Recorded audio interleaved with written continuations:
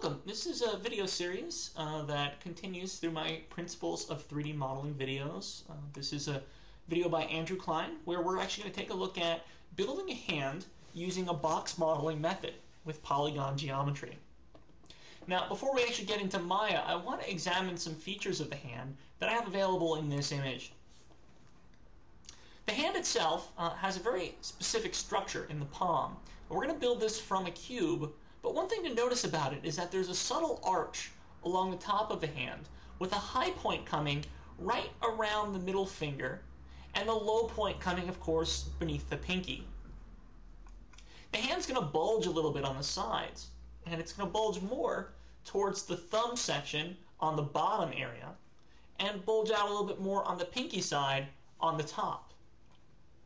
Also because of the way that the radius and ulna attach to the metacarpals in the wrist, there's usually a little bit of a diagonal line cutting across the wrist section. With the relative heights of the fingers, we want to examine uh, some of the changes that we need to make for all five fingers. The middle finger, of course, is always going to be the longest, and the pinky finger is always going to be the shortest. But we have the pointer finger and the ring finger, now, these two fingers can sometimes vary from person to person in which one is longer. About 85% of the time, you'll find that the ring finger is actually longer than the middle finger. But again, there are some individuals who have a longer pointer finger. So, just something to be aware of as you're building this. Now, finally, we have the thumb. And the thumb itself, uh, in this position in this photo, is actually stretched outwards to the side. You can see how much it is stretched because of the sort of uh, really sort of high crease volume that you see from the internal carpal bones uh, of the hand. Now, normally we wouldn't be seeing a lot of that if this hand was in a resting position. So if we were to take this hand and just shake it out and let it relax, you'd probably find that the thumb was hanging underneath the hand, not really stretched off to the side like this. And I just want you to keep that in mind as we get through building this form. Well, let me move this off to the side, and we're going to start taking a look inside of Maya at um, our different methods of working. Now, we're going to be working with polygon geometry, so I suggest if you're in a different uh, Windows menu set, just switch to your polygons, and in your shelf, let's switch to the polygon shelf. I'm going to create a polygon cube.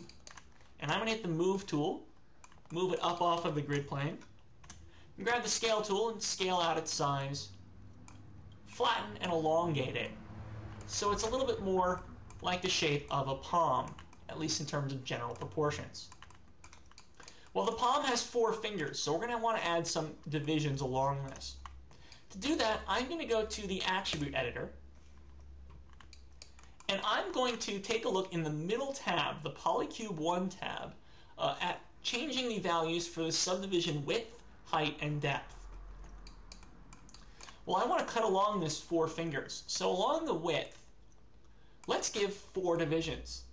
That'll be one division for each finger. To round this out, subdivision's height, we can set this to either 2 or 3, depending on how dense your polygon count needs to be.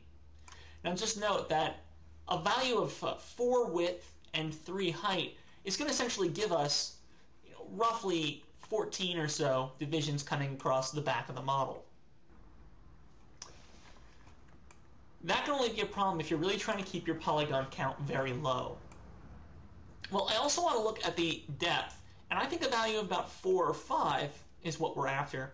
I'm going to go a little bit higher poly and switch this to 5 uh, and I think that's going to get exactly what we're looking for. Well, I'm going to hide that attribute editor for right now. And what we essentially have is a brick, and that's really not what we're after. So my suggestion in looking at this is first that we come in and round this form out. That we take our vertices and start altering this to the curvature that we're after. I've jumped into the top view and I will hit 5 to make this smooth shaded. And I'm going to go to the vertex component mode. What I want to do now is grab selections of vertices. I'm dragging a selection over vertices so I make sure I get the vertices that are displayed underneath this.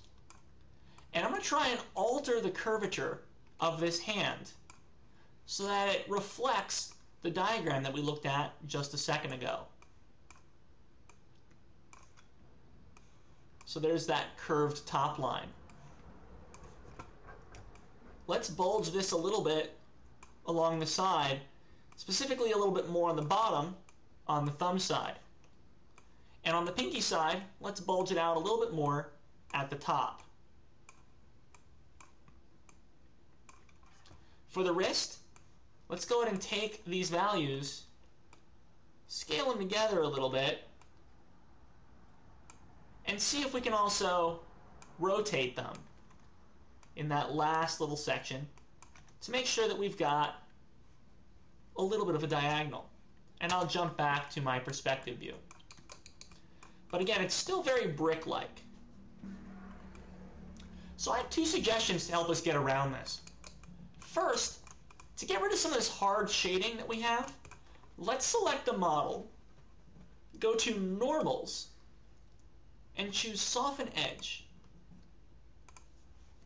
That's going to soften out some of these shading creases. Then let's select the model and let's employ the Sculpt Geometry tool. Now you can find this tool in a couple different places. One is underneath um, Mesh, Sculpt Geometry tool, down near the bottom. The other one is on the shelf. And the icon looks like a mountain with a hula hoop and a little red arrow erupting out of the top of this little volcano. Well, what I want to do is I want to double click on this tool so that it opens up the tool settings window at the same time. Now this tool has several values available for me, uh, and it's a brush which is essentially going to allow me to paint and sculpt onto the form. I have operations that allow me to pull geometry outwards or push inwards. I can smooth or I can relax. Well, what we want to do actually is we want to take the smooth sculpt parameter, which is the middle option, and I'm not actually going to sculpt with this. I actually just want to soften it all out at once.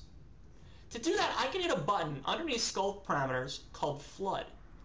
And if I just hit flood maybe two or three times, it's going to round this out from a brick into something a little bit more soft and rounded feeling which I think is more what we're after for a hand shape. And this is what I'm going to start off with.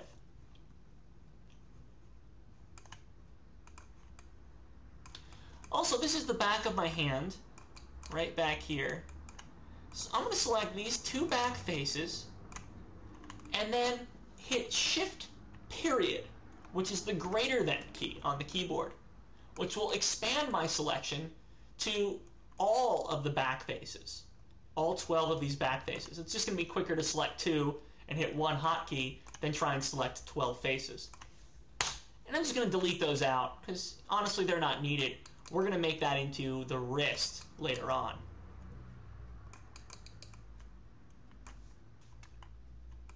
Well, we're pretty much ready to start extruding out our fingers, uh, and that's what we're going to cover in the next video, creating our first finger here. But before we do that, let's see if we can just adjust these opening edges a little bit so that we have some room for these fingers to fit. I think that's probably going to do it. Let's also see if we can take some of the vertices along the bottom of the hand, back along the wrist section, and pull this down. This is going to help us more closely reflect the fact that the arm coming out of this is going to be a little bit more circular than the shape of the hand itself. So a couple little tweaks. And I think we're good. We'll pick up in the next video.